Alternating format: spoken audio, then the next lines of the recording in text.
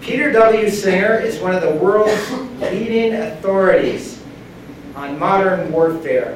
He's a senior fellow and director of the 21st Century Defense Initiative at the Brookings Institution. And in fact, he is, uh, according to the, uh, the institution's website, the youngest senior fellow ever in the history of this 90-year-old institution.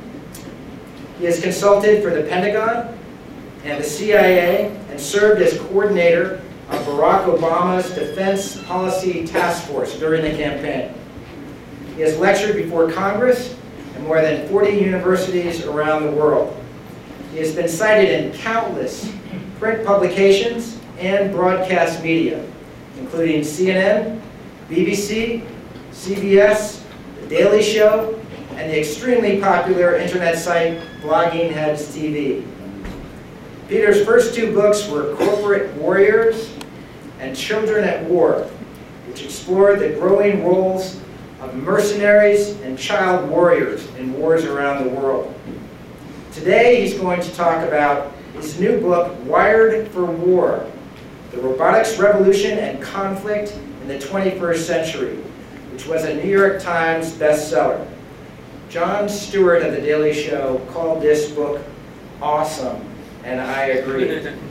Wired for War is not only an amazing piece of reporting on an extremely important topic, it's also a terrific read. And I thank God that more scholars can't write as well as Peter Singer. We have copies of the book for sale right here, and Peter would be happy to sign them at the end of his talk.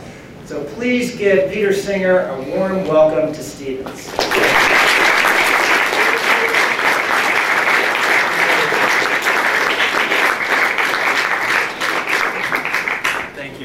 very kind welcome and all of you for coming out, particularly those of you who are not getting extra credit. I appreciate it extra much. Um, what I'd like to do is actually start with the opening scene of the book. And for this, you have to imagine yourself in Iraq. And ahead of you is what looks like a piece of trash alongside the road. But that insurgent has hidden that IED, that improvised explosive device, that roadside bomb with great care. Now by 2006, there were more than 2,500 of these roadside bombings, these IED attacks, every single month in Iraq. And they were the leading cause of casualties among both American soldiers as well as Iraqi civilians. Now, the team that's hunting for this roadside bomb is called an EOD team, Explosive Ordnance Disposal. They're the pointy end of the spear in the effort to stop these roadside bombings. If you've seen the movie Hurt Locker, that's about an EOD team. In a typical tour in Iraq, an EOD team will go out on 600 bomb calls. That is, they'll be asked to defuse about two bombs every single day. The number that's probably the better indicator, though, of the value of these EOD teams to the war effort is the fact that the insurgents put a reported $50,000 bounty on the head of an EOD soldier. Kill one of them, get $50,000. Unfortunately, this particular bomb call would not end well by the time that EOD soldier got close enough to the device to see that it was a bomb, that it wasn't a piece of trash, they could see it by the road, by the wires coming out from it, it was too late. The bomb exploded. Now, depending on how much explosive is packed into one of these devices, you have to be about a football field away to escape either death or injury from the fragments coming at you at bullet speed. In fact, even if you're not hit by one of the fragments, just the sheer force of the explosion itself can break your limbs. The soldier, though, had been right on top of that roadside bomb. And so when the rest of their team advanced, they found little left of them. And that night, the commander of the unit did their sad job. They sat down and wrote a letter back to the U.S., wrote a condolence letter. And they apologized for not being able to bring that soldier home. They talked about how tough the loss had been on the rest of the team. Uh, the rest of the team had felt like they'd lost their bravest comrade. A soldier that had gone out always on point time and time again on 18 different missions. Saved their lives. But this is what the commander ended the letter with. He went on to try and talk up the silver lining that he took away from the loss. This is what he wrote, quote, at least when a robot dies, you don't have to write a letter to its mother. That is, that soldier was a 42 pound robot called a PackBot. The condolence letter didn't go to some farmhouse in Iowa, like always happens in the old war movies, but went to a company just outside Burlington, Massachusetts, that on the side of it says, iRobot. It is a real-world company named after the fictional Isaac Asimov novel and the not-so-great Will Smith movie, in which robots start out by doing daily chores. iRobot is the same company that makes the Roomba. Robots start out by doing daily chores and move on to making life and death decisions. Now, I'm not one for PowerPoint, so what I'm going to play for you here is actually not um, not linked to here we go, good. Um, it's not linked to the speech, it's actually just background. It's both to give you a sense of the reality of the technologies that are either already active in war today or already at the prototype stage. Just to give you a sense of the science reality of war today. Another way of putting this is that you're not going to see any science fiction here. They aren't powered by Vulcan technology. They don't depend on teenage wizard hormones. These are the real deal when we're talking about war. Now, the book Wired for War is about how there's something big going on in war today. And maybe even the story of not just science, but humanity itself. The US military went into Iraq with a handful of drones, pilotless planes, unmanned aerial systems, UAVs. We went in with a handful. We now have over 7,000 in the US military inventory. On the ground, our invasion force went in with zero ground robotics. We now have over 12,000 in the U.S. military inventory.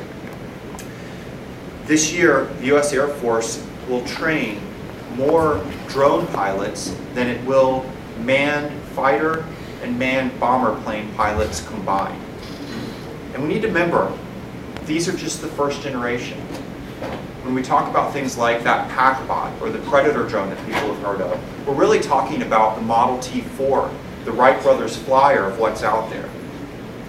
In the technology industry term, killer app, short for killer application, doesn't just describe what iPods have done to the music industry.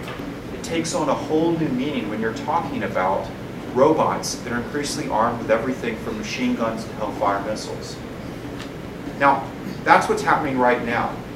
Peering forward, one Air Force three-star general that I met with described how we won't be talking about conflicts as now involving thousands of robots, but very soon, quote, tens of thousands of robots. And they're not going to be tens of thousands of these kind of robots here, because everything's moving forward. There'll be tens of thousands of tomorrow's robots and beyond. One of the things that a lot of you are probably familiar with is what they call Moore's Law the idea that just about every two years we've been able to pack more and more computing power into our microchips so they double in their power. Moore's law is the reason, for example, if um, how many people in this room have ever given or received one of those Hallmark greeting cards that opens up and plays a little song? Just raise your hand. That one greeting card that you had had more computing power than the entire US Air Force did in 1960. That one card. That's because of Moore's law, that doubling effect, multiplying year after year after year. If Moore's law holds true, the way it's held true for the last 40 years, then within 25 years, our technologies, our computers, our robots will be a billion times more powerful than today. And I don't mean a billion in kind of the amorphous way people toss around the term, you know, like in the movie Austin Powers, you know, one billion. I mean, literally take the power of those systems and multiply them with a one and nine zeros behind it. That's what's going to play out over the next 25 years if Moore's Law holds true. What if Moore's Law doesn't hold true the way it's held true for the last 40 years? What if it just goes a hundredth as fast? well then our systems will be just a mere million times more powerful than today. So what we have to think about here is that the kind of things that we only used to talk about at science fiction conventions need to be talked about by people like us, need to be talked about by people in the Pentagon. We are living through a robots revolution. Now, when I say robots revolution, I need to be very careful here. I'm not talking about the kind of revolution where you know the governor of California is going to show up at your door, all of the Terminator movies. It's not that kind of robots revolution. It's a very different kind. It's the idea that every so often in history, a technology comes along that rewrites the rules of the game. It forces us to ask new questions about not only what's possible that wasn't possible before, but what's proper that we didn't have to think about the right and wrong of before. These are very rare in history. These are things like the printing press, the computer, gunpowder, the atomic bomb. Now the thing that's interesting is when we have these revolutions in war, they've always affected the how of war. They've always been a technology that had either a dramatically bigger boom, like the atomic bomb and all the changes that that caused both in war and politics, or they had a dramatically faster firing rate, like the machine gun and all the changes that that caused in war and politics. Or they were a technology that allowed you to shoot dramatically further, like gunpowder or the airplane, and all the changes that that caused in war and politics and beyond. That's playing out with robotics today, another change in the how of war. But it's the very first revolution that's also affecting the who of war. It's reshaping warriors' very experience, warriors' very identity. Another way of putting this is, humankind has had a 5,000 year old monopoly on the fighting of wars. And that monopoly is broken down in our lifetime. Now, I thought that was a rather big deal, and I also thought it was rather strange that we really weren't talking about it. And so a couple years ago, I set out to gather the stories of what it's like in this revolution. So what it's like to be a scientist or engineer who builds these robots. What do the science fiction authors who are influencing them think about all of this? What's it like to be an Air Force drone pilot sitting in Nevada flying a plane that's actually over Afghanistan? What's it like for the four-star generals who command them? What do the politicians think about all of this? The other side of the coin, what do insurgents in the Middle East think about our robots? What do they think about us sending robots out to fight them? How about journalists? Not just journalists in the US, but journalists in places like Pakistan, India, Lebanon. How are they reporting on this and shaping public perceptions? And then finally, the right and wrong of all of this. So interviews with people at places like the International Red Cross and also Human Rights Watch. And so Wired for War is really about these stories, gathering them together, but more importantly, the ripple effects that this technology is having on our politics, our wars, our business, our society, our laws. So what I'd really like to do is, in the remaining time, is flush a few of these ripple effects out for it, because I think that's the interesting part of the story. Now, the first one is what you're actually seeing play somewhat here is the fact that this revolution in robotics is not just an American revolution.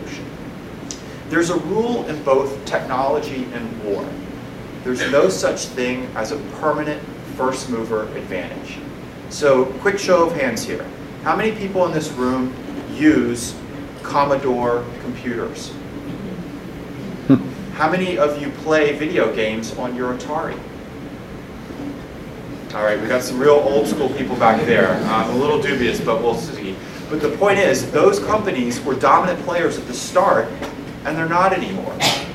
The same thing has held true in terms of not a permanent first mover advantage in war. The British, for example, were the ones who invented the tank. The Germans were the ones who figured out how to use the tank better. So one of the things we have to think about in terms of the United States is that we are very much ahead in this technology, this robotic technology today, particularly in its use in war, but we're not the only player in town. There's 43 other countries out there that are building, buying, and using military robots. And they're countries that range from Russia and China and Japan to Burkina Faso. And one of the things we have to question is where do the current trends have us headed in this revolution? Where does the state of American manufacturing industry have us headed? Where does the state of our science and mathematics and our schools have us headed in this revolution? Upwards or downwards? Or another way of putting it is, what does it mean to be sending out more and more soldiers whose hardware says made in China on the back of it and soldiers whose software is increasingly written somewhere else, like in India. What does that mean for a nation state that depends on these? But just like the software industry has gone open source, the same thing is playing out in warfare. That is, it's not just the big boys who control the game. Like what happened in software, the same thing's playing out in warfare. It's not just the major states or even the small states that have ownership over all of this. We're also seeing non-state actors move in. Now, the examples range across. One of the groups that I talk about in the book is a group of college kids from Swarthmore up in Pennsylvania who wanted to do something about the genocide in Darfur. So they held a battle of the bands. They ended up fundraising about a half million dollars, whereupon these college kids entered into negotiation with a private military company for the rental of a set of drones to deploy to Sudan. College kids held the negotiations out of their dorm room. There's of course a darker side to this, used by groups that maybe don't want to do things like stop a genocide or do these talks out of their dorm rooms. For example, in the war between Israel and Hezbollah, Hezbollah may not be a nation state, may not be a formal military, but it was still able to fly four drones back at Israel. So what we have is this flattening effect coming to war and technology and those that can use it. And I think the trends lead two things to come out of this to keep our um, eyes on.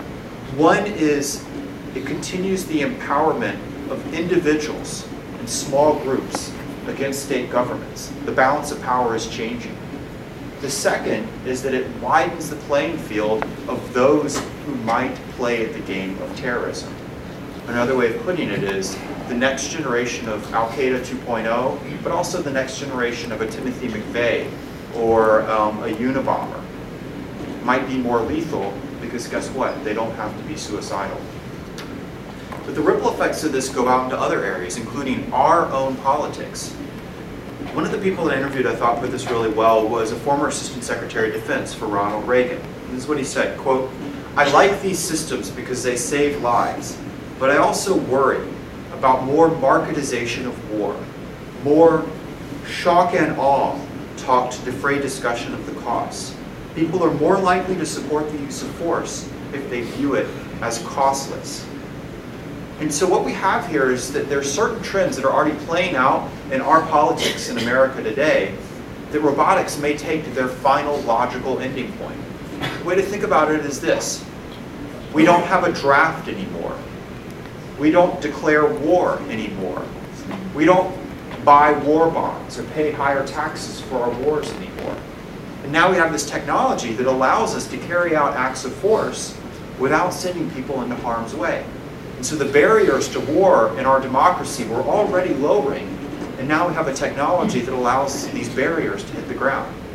Now, it may sound kind of theoretic what I'm talking about, but I think it's playing out right now. When you look at the raw numbers, we've actually carried out more robotic drone strikes into Pakistan over the last year than we did airstrikes with manned bombers into Kosovo and Serbia during the Kosovo War just a decade ago. But unlike the Kosovo War, we didn't have a debate about it in our Congress or the UN. The media doesn't report about it every single night. We just did it because we viewed it as costless to us. The irony in all of this, though, is that while the future of war may involve more and more machines, war is still about our human failings. And all the ripple effects that come out of it are about human psychology. So think about that in terms of viewing it as costless to us. Is that the same on the other side? We have a policy riddle right now to figure out that sounds like science fiction, but is real. What are robots' impact on the war of ideas that we're fighting against radical groups around the world. What is the message we think we are sending when we use robots in war versus what is the message that's actually being received? Again, I wanted to know this, so I went around interviewing people. And one of the people that I thought put it rather well in terms of our perception of what we thought was a senior um, Bush administration official.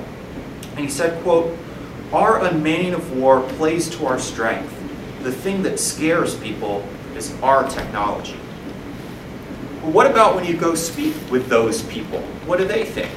This is what the um, editor of the leading newspaper of Lebanon had to say. And he actually described this um, to me while there was a drone flying above him right at that moment. He said, quote, it's just another sign of the cold-hearted, cruel Israelis and Americans who are also cowards because they send out machines to fight us. They don't want to fight us like real men, but they're afraid to fight. So we just have to kill a few of their soldiers to defeat them. We have an absolute disconnect between the message we think we are sending versus the message that's being received. Doesn't mean that either message is actually accurate. It's just a misperception on both sides. But there's another thing that's changing at a very large level. Think about the phrase going to war. What does it mean to go to war? That phrase to go to war has meant the same thing for the last 5,000 years. Whether you were talking about the ancient Greeks going to war against Troy, or my grandfather going to war against the Japanese in the Pacific. To go to war at its most basic level meant to go to a place where there was such danger that you might never come home again. When you went to war, you accepted the risk that you might never see your family again. That's what going to war has meant for the last 5,000 years, until today. This is what a um, Predator drone pilot described of what it was like to fight insurgents in Iraq while never leaving Nevada. Quote, you are going to war for 12 hours, shooting weapons at targets, directing kills on enemy combatants. And then you get in the car and you drive home. And within 20 minutes, you're sitting at the dinner table talking to your kids about their homework. This is an absolutely new experience of war. The ability to be at war and simultaneously at home. And it's causing all sorts of new things that we really don't understand yet. Like one of which is that they're finding that the levels of combat stress for the remote warriors in some situations are actually as high or higher than for those units that are physically deployed to Afghanistan and Iraq. There's another change that comes out of this, the ripple effects on the demographics of war. Who can do what in war? One of the neat stories in the book is about a 19-year-old um, high school dropout who joins the Army to try and make his dad proud of him again. He wants to be a helicopter mechanic. It turns out that he's not qualified to be a helicopter mechanic under the Army's rules because he failed his high school English class. So the Army recruiter says, would you like to be a drone pilot instead?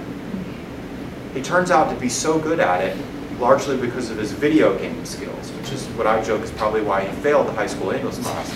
But he turns out to be a natural, so to speak, that they actually, after his first deployment, bring him back, they promote him to the specialist, which for those of you who don't know um, the military, that is roughly the second lowest rank in the military, went from the lowest rank to the second lowest rank. They promote him, and then they make him an instructor in the training academy. It's a really neat story from one perspective because through this technology, he found himself and made his dad proud of him, and he's serving his nation. I was recently at the Air Force Academy. They did not like this story because you have a 19-year-old high school dropout who's not even an officer, who's in the Army. And not only is he an instructor, but he's actually taken out more targets than any F-15 pilot. This is a huge change when you think about who does what in war and who gets honored in war. But don't think about robotics as just things that are outside us. They're also playing out within us. So one of the other neat stories in the book is about the um, what could be a great tragedy. There are more American soldiers that are being wounded by these roadside bombs, these IEDs, but fortunately living because of advanced medical technology and body armor. But the difference is, is that that means that the rates of people who are losing their arms and legs in war are greater than before. There are over 400 American soldiers that have had their arms or legs blown off by these roadside bombs replaced with robotic arms and legs that have allowed them not just to go back to leading their lives, but actually to go back to their combat units with these robotic arms or legs. The head of the program describes it as the Luke Skywalker effect. For those of you who know your Star Wars and Empire Strikes Back, Luke gets his hand cut off by Darth Vader. And we go, oh no, our hero, you know, what's he going to do? And then fortunately, by the end of the movie, they've given him a robot hand. And he can go on to, you know, Return of the Jedi. That was science fiction. For 400 American soldiers, that's science reality already. Now, much of what you're hearing here is that there's always two sides to every technology, every revolution. So while Moore's law may be happening with this advancement year after year after year, it doesn't mean we've gotten rid of Murphy's law. So you're getting these incredible science fiction-like capabilities, but that also means that you have incredible science fiction-like dilemmas that you have to figure out, that we have to figure out. And these are everything from mistakes that happen either intentionally or unintentionally or because of the fog of war. Now, people in robotics companies describe these as oops moments. That is, what happens when things don't work out with your robot? It's an oops moment. That's what the head of one robots company said. What are oops moments when we're talking about robots and war? Sometimes these oops moments are, you know, kind of funny. Like the first time they tested out a machine gun armed robot, it went, quote, swirly. It started spinning in a circle, and it pointed its gun at the review stand of VIPs who were there to watch. They were happy that there were no bullets in the gun at the time. Other times, these oops moments are tragic. Like last year in South Africa, an anti-aircraft cannon had a, quote, software glitch. During a training exercise, it was supposed to fire into the sky.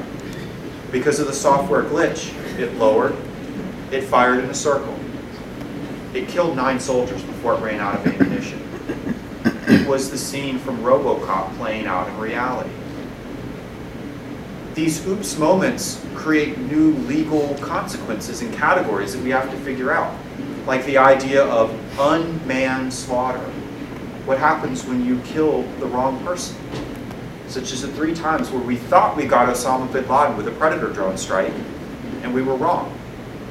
In one situation, it was an Afghan civilian who was just unlucky enough to look like bin Laden when viewed through the video camera of the Predator. Now these are situations that have already happened where we're still part of most of the decisions. But of course, as you well know, that's not always going to be the case. The technology is advancing and advancing, and we're giving them more and more autonomy. Now, this raises some fascinating questions for things like war crimes. Are they going to be more or less likely with robots in war? And on one hand, you can say they'll be less likely because many war crimes happen out of emotion. They're crimes of rage or revenge. Your buddy gets killed and they lash out against local civilians. Robots are emotionless, so they won't commit those crimes, crimes of rage. But robots are emotionless. They don't have a sense of empathy, sense of guilt, sense of honor. A robot looks at an 80-year-old grandmother in her wheelchair the exact same way it looks at a T-80 tank. They're both just zeros and ones in the programming language. So that sets this really interesting challenge before us, which is how do we catch up our 20th century laws of war? The laws of war actually are so old right now that if they were people, they would qualify for Medicare. How do we catch them up to 21st century technologies like the ones that you've seen here? And more importantly, how do you catch them up in turn when these 21st century technologies are being used against 21st century adversaries that are trying to take advantage of these laws of war? So you have a pilot sitting in Nevada flying a Reaper drone that's targeting an insurgent who's using an ambulance to move ammunition back and forth. The laws of war are under challenge from both sides. And this leads up to maybe the most important aspect that I think is appropriate for this room, which is the ethics of all of this. Now, typically when people talk about robots and ethics, they say, oh, you mean Asimov's three laws, of course. And there's a couple problems with that. The first is Asimov's laws are fiction. How do you program English in the software?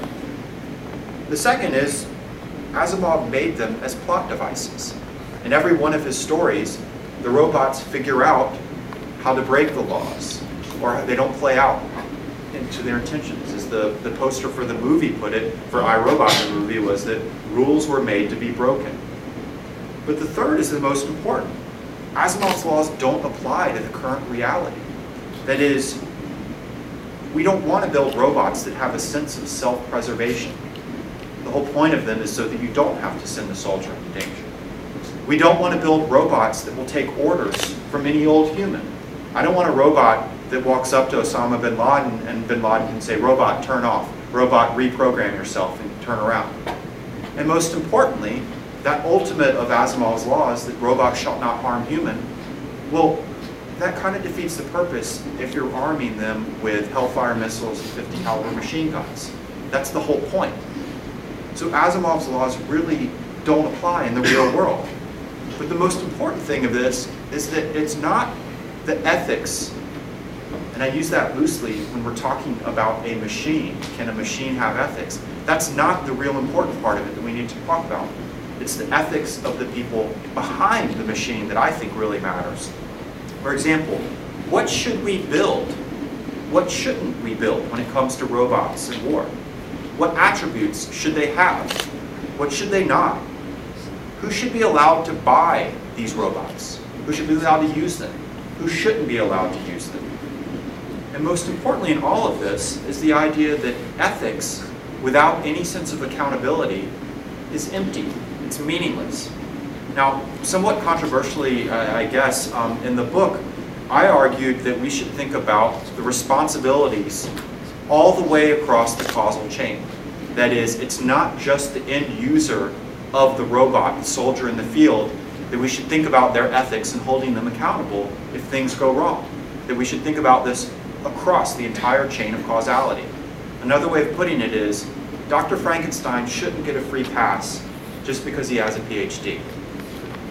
Now, the challenge in all of this is that we really aren't having these kind of conversations about ethics in the field of robotics today a young roboticist has no code to turn to the way someone working in, for example, medicine has to turn to. The field isn't trying to generate a broader discussion about its social impact, the way, for example, other cutting edge fields like genetics are doing. And most importantly, we really don't want to think about the links between what people are working on and inventing at places like here or elsewhere, and what plays out in the battlefield. And it's interesting because um, for those of you who've read the book, you'll know that I have a real strong sense of respect for those who are proud of their work. Those who are proud that they're building these robots to go out into war and save lives, soldiers' lives. Or those who say, you know what, I don't want my work to be used in war. And they're refusing to take for example, Pentagon money. They describe it as the refuseniks. I'm very, I, I have a lot of respect for them. The problem is that they are in a minority. There's this vast group in the middle that wants to, for example, take military money for their research, but act as if they have nothing to do with war. And maybe most disappointing to me was um, an email that I received after a talk like this, where um, it was actually at a, a, it was at a competitor, so it was at Carnegie Mellon. And a professor emailed me afterwards and said he was very upset with me because I, quote, troubled his students by asking them to think about the ethics of their work. I'm sorry if this troubles anyone. I'm not telling you what to do, I'm just saying think about what you do and be proud of what you do. So I'm going to end here because I really want to more engage with all of you and just say this. It's two things. One, this all sounds like science fiction, but as you saw from all of those pictures, this is already science reality. Every single example that I gave you, except that very last one about the um, grandmother and the T-80 tank, every other example was not from the future of war, it was from the past of war. The second thing is this, and I actually do want to jump into sci-fi. Um, a couple years ago, the AFI, the American Film Institute, did a study, gathered a group, and said, let's name the top 100 Hollywood heroes and top 100 Hollywood villains of all time. What characters out of every single Hollywood movie ever made represent the best of humanity, and what characters represent the worst of humanity? only one character out of every single movie ever made was on both the top 100 hero and top 100 villain lists. Who do you think it was? Terminator, a robot killing machine. And I think this shows a couple things. The first is it shows the duality of the technology itself. It can be used both for good and for evil. But it also shows the duality of the people behind the machines. Because when we think about it, there's one thing that really distinguishes us as a species. It's our creativity. Our creativity is what allowed us to build fire. What allowed us to build architecture like this. It's what allowed us, our species alone, to go to the moon. And now we're using this creativity to build these incredible technologies that if you believe both the scientists but also the science fiction authors, we may be creating an entirely new species, perhaps in our image. But if we're honest about it, thing that's driving us to create it is actually the fact that we can't get past what seems to be an age-old human need to destroy one another. So the end question this is this. Is it our machines or is it us who's wired for war? Thank you.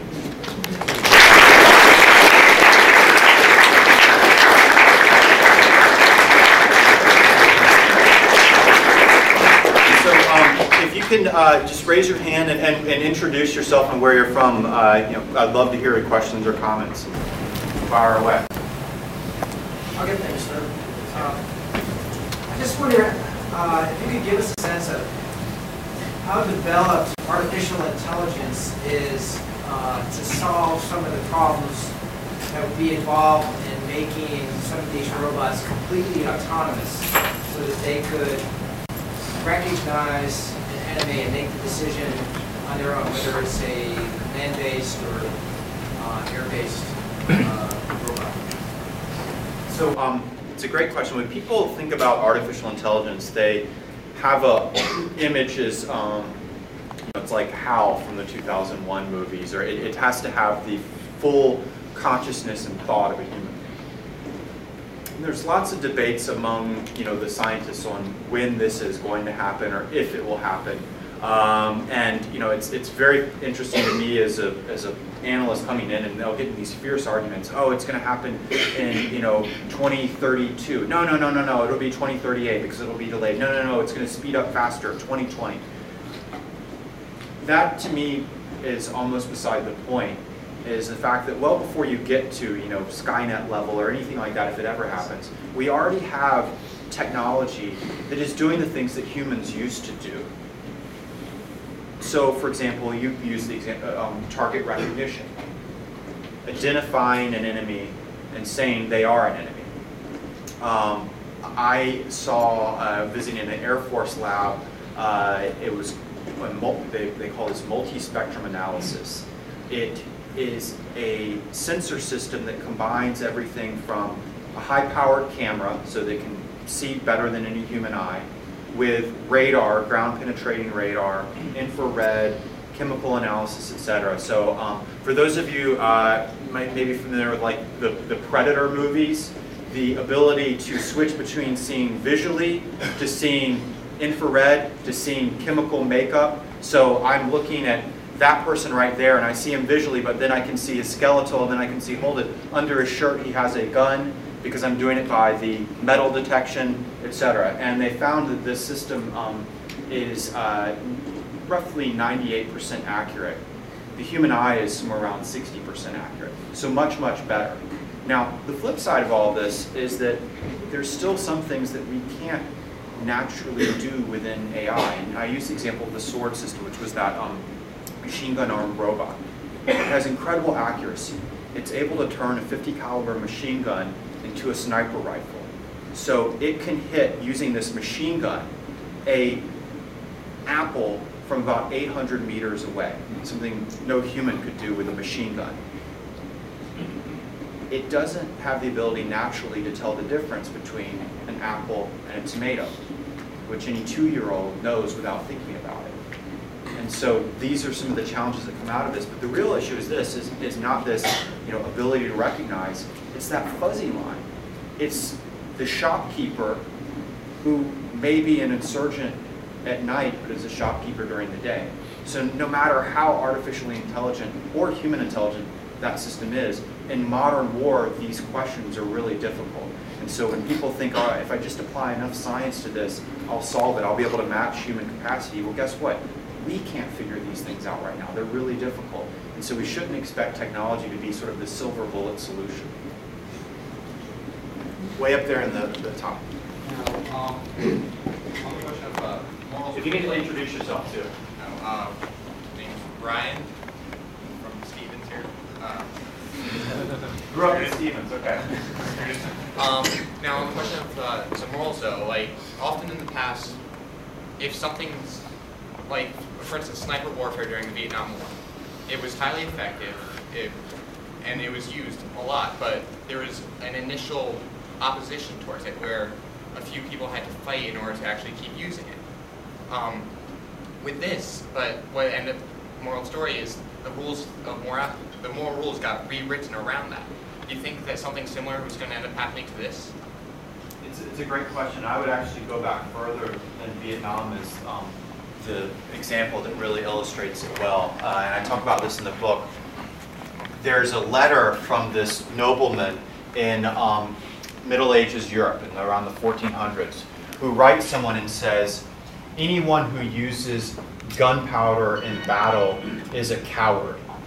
To use guns is not an act of war, it's an act of murder. So we used to think using guns was something that only cowards would do. And of course, we caught up our conceptions of what was brave or cowardly and said, you know what, using guns isn't anymore. And I think sort of the same thing is one of these aspects that's playing out with these technologies where some people um, have different interpretations of whether they're ethical or not, legal or not, and we're going to have a debate over it. But one of the drivers for all the things that people in, you know, for example, human rights groups want to push towards, there's also the fact, as you raised, that they're really effective. And that is part of it. Now, the interesting thing to me is not just where does this debate end up, what do we decide is legal or not, but first is when do we decide that? So, for example, landmines were something that we waited about 90 years after they were invented, about after 40 million of them were put under the earth, to then decide, you know what, we don't think these are legal. It was, it was too late. The other is that the dispute over what's legal or ethical to use actually has big political consequences. We're seeing that today in Pakistan, where because of these drone strikes, which we think are rightful, and we say, you know what, there are a lot less civilian casualties because of these drone strikes than if we'd done them with regular technologies, and they're true. But the flip side is, it's made the US, as a leading Pakistani newspaper described, enemy number one in public perception there. But there's even historic examples of this. Um, another science fiction-like technology was the submarine.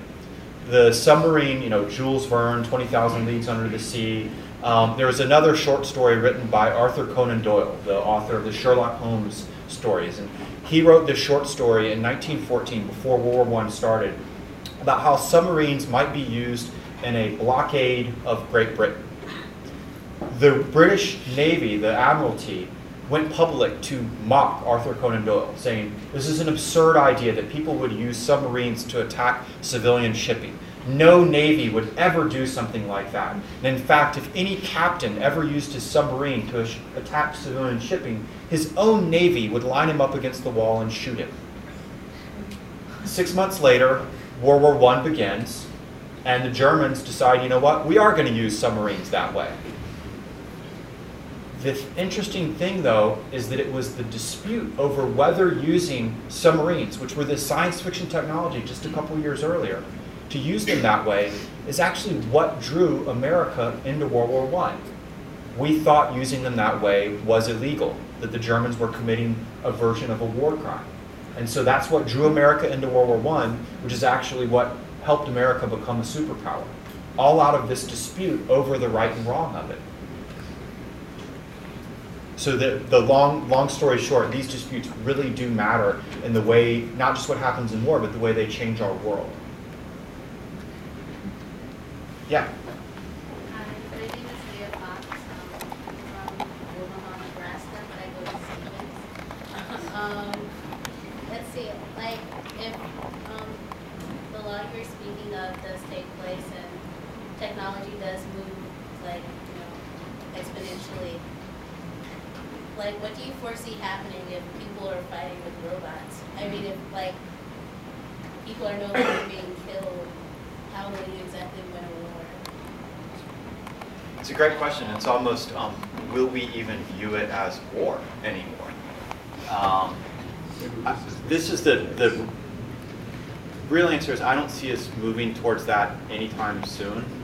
Um, what we're rather seeing is mixtures of humans and using more and more robotics in war. Um, the U.S. military's plan is almost like um, you can imagine the way a football team works, where the human would be the quarterback calling the plays, and the unmanned systems, be they on the ground or in the air, are like the wide receivers that carry out the play. But in football, the wide receiver, even though there's a play, if they see something changing, they can break off from the play and, and react. And that's much of what we'll see playing out with these unmanned systems. But the interesting thing, again, um, to me, you know, so you've got that mixture there. Really, to me, though, it's again these ripple effects, not just how we use them in war, but the ripple effects beyond it of doing things. So, you know, one of the things I talked about, if we're doing it more and more that way, using more and more of these systems, does it mean we go to war more and more often? Or another thing, thing to think about this, um, one of the things I talk about in the book is the rise of YouTube war. What's YouTube war? Well, these machines are very different than anything else in history, and then it's not just that you don't have a human inside them, but they're recording everything that they see. So if they're recording everything that they see, it allows an interface with the public to war that didn't exist before. That is, we already have over 3,000 video clips of combat footage from Iraq and Afghanistan up online right now, up on sites like youtube.com. Now we could say that's a really good thing. The public has the ability to watch for itself what's happening in battle, something it could never do before. And it doesn't have to rely on the mainstream media for finding out what's happening in Iraq or Afghanistan. But we need to remember when we're talking about these technologies, they're still playing out in our very real, very human, sometimes very weird world. And so for some people, the ability to download a video clip of combat footage from Iraq onto their iPhone isn't something for information, it's something for entertainment. And the soldiers have a name for it. They call it war porn, war pornography. Um, a typical example that I got was an email, and the title line of the email said, Watch this. You know, we all get emails like that that have that, and they have a link to a video, and that video may be, you know, some really cool dunk in an NBA game, or, you know, some nerdy fat kid dancing in his basement, something like that. That's the watch this. Well, in this case, the watch this was a, a Predator drone strike. Hellfire missile drops, comes into the target, explosion bodies tossed into the air. It was set to music. It was a music video. It was set to the song I Just Want to Fly by the band Sugar Ray. So we have this ability, and it's one of these things from using more and more of this. We have the ability to watch more but experience less when it comes to war and it has kind of a warping effect as well because when you're watching these clips you may think you understand what's happening in war now more but you don't because again you're just the viewer you're the spectator you're watching it from afar yeah Uh, Mike Wolf from uh, Brookline, New Jersey. Um, sort of to expand on her question, what do you think is going to happen once it's uh, our enemies get uh, like the robot uh, stuff as well as robot versus robot, and then they start being used on like American, like they send them to like uh, American soil or something like that. What do you think is going to uh, happen? There's a couple of things. I mean, another part of this I think will be fascinating is it opens up new domains of conflict. Um, what we can call wars of persuasion. So think about it this way. If you're a pilot of a, of a F-15, I can't hack into your brain and say, pilot, reprogram all other F-15s as MiGs and shoot them down. With computerized systems, we have that possibility. And as probably most of you know, Pierre, um, pretty much anything that's computerized can be hacked. And so this opens up an entire new domain of conflict that we have to think about. Um, and the high-tech side of things also will see its parallel on the low-tech side. So we're already seeing uh, jamming of our robotic systems by insurgent groups in places like Iraq and Afghanistan. Um, we're already seeing them attempt to build their own. Actually, I've built a couple of their own. But also, again, the thing here is don't forget that while we're talking about technology, war's still messy. So, um, what's one of the most lethal systems against a machine gun armed ground robot? A six year old with a can of spray paint. So think about it this way that six year old can walk up to your system and they've just blinded your system, they've just defeated it. And you have a dilemma that you have to figure out. Do you either shoot that six year old, who all they are, they're armed with a can of spray paint, or do you let them defeat you? These are the kind of challenges people are wrestling with in places like Iraq and Afghanistan. Um, now, I actually used this example uh, when I was meeting with a group from our Joint Forces Command. Um, and one of the officers yelled out, well, we'll just load a um, non-lethal weapon system on it and we'll tase that little six-year-old. Um, so it's a, it's a response. Um, what I pushed back to him was this, was yes, that's true, you know, but um, how much will it cost for that upgrade, a couple hundred, a couple hundred thousand to a million, versus the investment that the other side made in the 40 cent can of spray paint. So for every 40 cent upgrade they're doing, we're spending another million plus. And then we have a viral video going around of some little six-year-old being tased by an American robot. You know, we saw how the taser video went around from that college campus a couple years ago. You know, don't tase me, dude. Well, now we've got one of a of a kid. So the point here is this: is that whenever we're talking about technology, put it in a social context, and then think of the most challenging thing that can happen. And that's what will play out in war and society. And the same thing you asked about within the US. Incredible capabilities for um, protecting the homeland against terrorism. Uh, you know, we have this very strange, odd phenomena where we're really only protecting our airports, and we're only protecting them with some of the least trained, worst paid people in our entire economy. Versus you can have a computerized system that doesn't get bored, doesn't nod off, isn't playing on their cell phone when they're supposed to be scanning. On the other hand, do I want to live in a US where all of my movements are watched by a system and it's the one deciding who is a target for further investigation or not? It isn't a theoretic thing anymore. Um, I mean, I said, you know, one of the questions of who should be allowed to operate these systems, the Predator drone. Is the Predator drone a military-only technology? Homeland Security already has six of them. LA Police Department's exploring purchasing its own drones. Do I have the right to buy one? Why not? It's my Second Amendment right. It's all theoretic, but it's actually not. Yeah, way back up there in the top corner. Andrew I teach history here. I'm from upstate New York. Um, the, the business side of it is interesting to me. Um, and it's only a little bit tongue-in-cheek uh, when I uh, suggest this scenario. So Tom Friedman thinks, or we all agree that we need to innovate our way out of a recession. Tom Friedman thinks uh, it should be green technology. Uh, it sounds like there's big uh, margins in this. Uh, there's a lot of government grants going into it. You can sell it to, to maybe anybody. Um, is that going to drive this more than our ethical discussion? It's, it's a um, great question, and it's one of the things, some people argue that because of all the dangers of this, we should do something that we, we didn't do with like research into atomic power and the atomic bomb.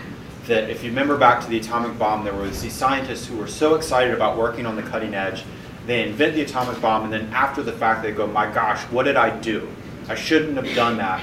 And actually, they have this odd phenomena where the inventors of the atomic bomb were the same people who founded the international arms control movement to end the atomic bomb, the very same people. And so there's a set of um, scientists who are pushing for this, you know, saying don't make that same mistake. And we should do what we call relinquishment. Just say what, you know what, we're not going to invent anymore. There's a couple problems with that that I talk about in the book. The first is um, as uh, is basically human nature. We're curious and creative. Second is the way science works. And actually, Einstein put it really well. He said, if we knew what would happen, we wouldn't call it science. It's kind of a cool and scary quote when you think about it. But then the final part is um, these things are really useful. They're really useful in war. There are literally hundreds of soldiers alive today because of them. And as you asked, they're very profitable. And this is a potential booming industry. In fact, um, Bill Gates uh, said that he sees robotics as being where computers were back in 1980. And that if he was a young man just entering the field today, he would go into robotics rather than computers. Now, what's interesting about that, again to me, is these ripple effects. So think back to the computer in 1980.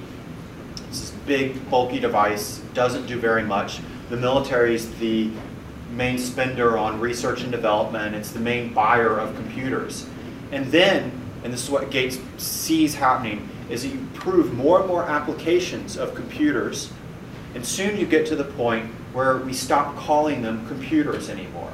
So I have 100 computers in my car. I don't call it a computer car. I have a computer in my kitchen. I call it a microwave oven. And he sees the same thing playing out with robotics. And actually, we are starting to see that. So, for instance, the um, new Mercedes-Benz has crash avoidance technology, which is the very kind way of saying the robot car takes over if the stupid human doesn't look in their blind spot. We don't call it a robot car, but it has that. The Lexus parallel parks itself because we humans have a major problem, parallel parking. And same things in war, but again, that's not where it stops. No one back in 1980 says, aha, this thing called the computer is going to allow me to social network my way into friendship with someone in China that I've never met before. But also, it's going to allow someone in Madrid to social network their way to being friends with my 10-year-old sister that I really don't want them to. So both a positive and a negative. And so what are going to be those ripple effects that come out of robotics? Yeah, right there. Um, my name's Nick Catania from Marlboro, New York. Uh, tagging on the economic point of this, I mean, I see things like the uh, Japanese robots conducting orchestras, all the way to like your check your check out at uh, Home Depot.